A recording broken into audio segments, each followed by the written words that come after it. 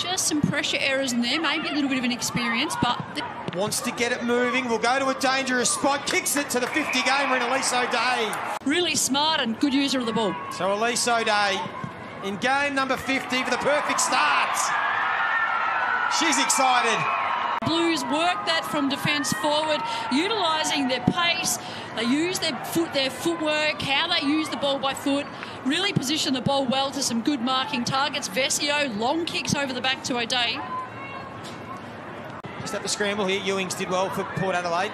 Gets him out of the danger zone, but only temporarily. Has O'Dea there, had a bit of a fumble.